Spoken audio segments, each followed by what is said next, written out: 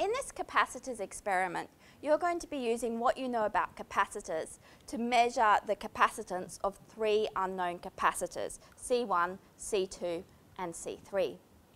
You're then going to be using these measurements to predict what will be the capacitance when you connect various combinations of these capacitors in series, parallel and other combinations. At the end of the experiment, you're going to be starting by charging one capacitor, C1, and then using this charge to charge the other capacitors and predicting and measuring the voltage that will result. So let's have a quick look at the theory behind capacitors. So as you know from class, capacitance is equal to Q on V, where Q is the charge stored on each of the plates. So as you know, a capacitor basically consists of two plates. You've got a positive plate and a negative plate. The positive plate has charge plus Q and the negative plate has charge minus Q on it. You're going to be using a constant current source. So what you'll be doing with this capacitor box is putting a battery across here which will provide a constant voltage. There's then internal electronics that are going to convert this constant voltage into a constant current.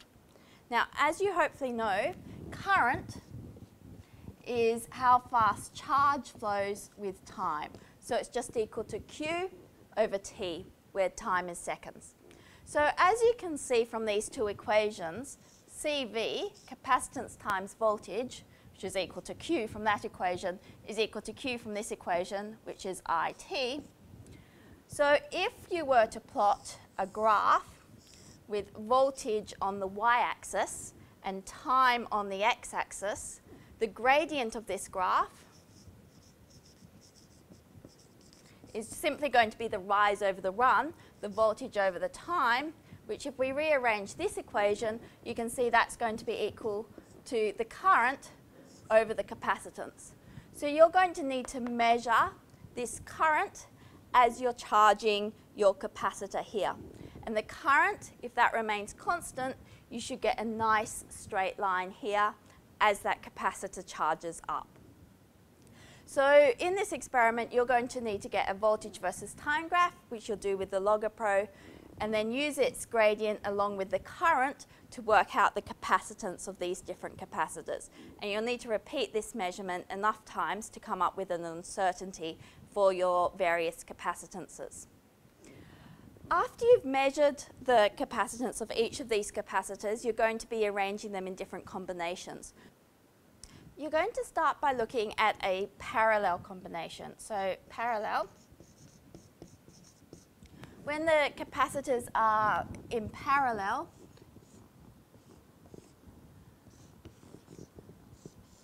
the current from the battery can choose which capacitor to flow through. So this would be a way of drawing a parallel circuit with C1 and C2 in parallel. Now, with capacitances, the equivalent capacitance of a parallel system is just given by adding the capacitors together. If we had more than two capacitors in parallel, we just keep on adding them. So after looking at parallel, you're going to be looking at series.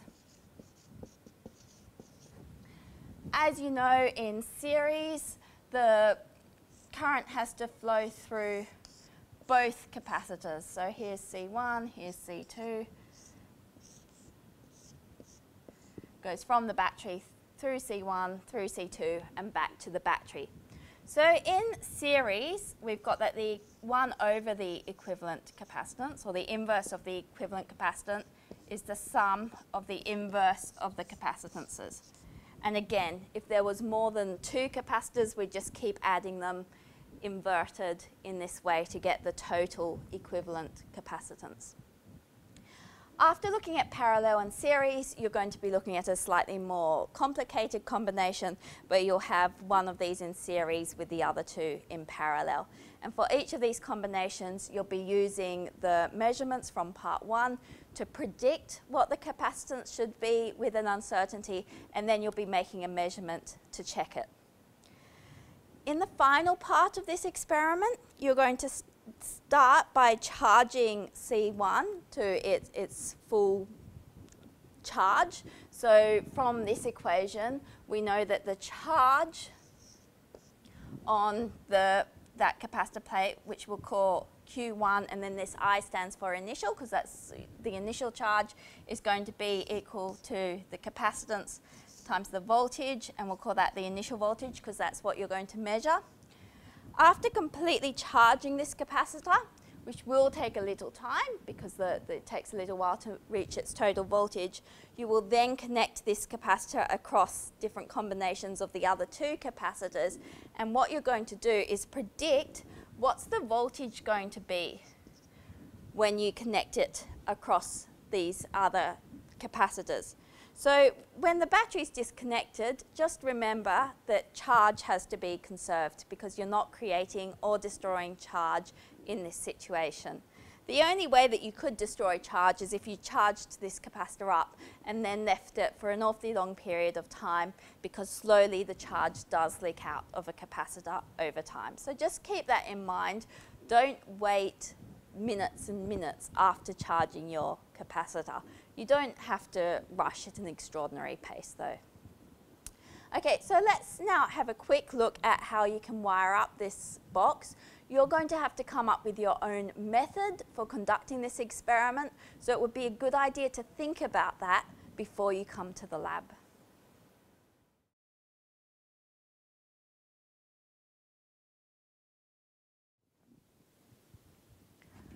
Okay, so for this experiment, you do need to come up with your own method.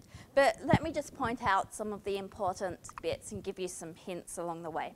Okay, so this is the battery pack, which is going to be supplying the 9 volts to your capacitor box. So start by connecting the battery pack to the capacitor box. So we just plug it into where it says input 9 volts DC. So we just plug that straight across like that. And then this capacitor box has internal wiring there, which gives a constant current out of these two outputs.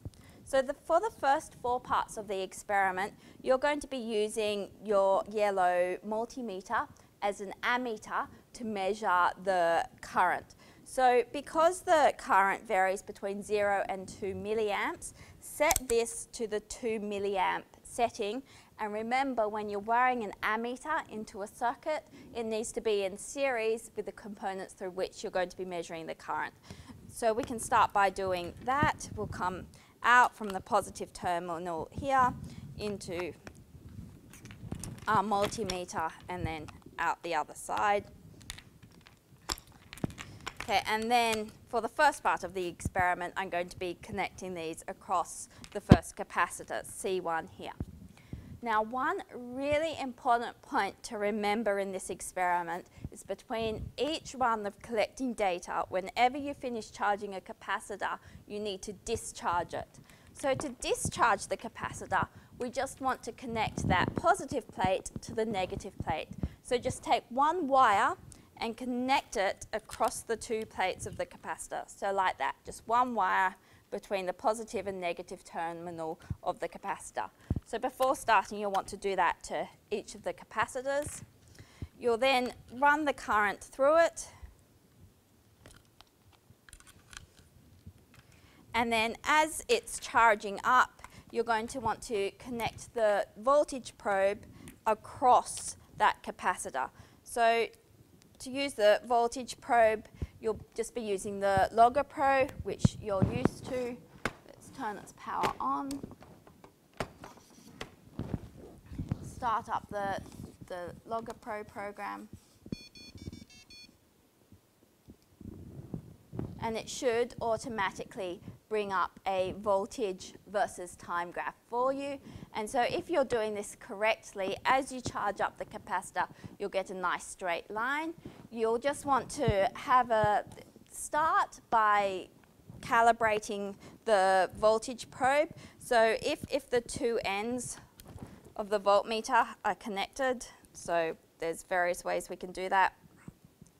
just touching them together somehow, we know that the potential difference between them should be zero. So you can just tell the computer that, that's zero. So that it's, it's now calibrated and ready to collect measurements. And then what you'll want to do is go to experiment, go to data collection, and you'll want to set this up. You probably want to collect possibly slightly more than 10 samples per second, though that's not a bad amount, and you'll probably want to collect it for approximately a minute. But have a, you can have a few practice runs to work out what the ideal settings are for that data collection, and then stick with them for the experiment. Just if, if you move this knob around, the current will change. Make sure that for each run of data, you know what the current was because you're going to need to use that current to calculate the capacitance. Have a think about the method before you come to the lab. Possibly jot it down in your lab manual to save yourself some time in the lab. For the last part of the experiment, you'll start with charging C1 and for that part, rather than measuring the current, you're going to be using this device, this multimeter, to measure the voltage. So just switch it across to the 20 volts DC setting, measure the voltage across C1 when it's charged, and then you'll be connecting it across the other capacitors and measuring that. Good luck.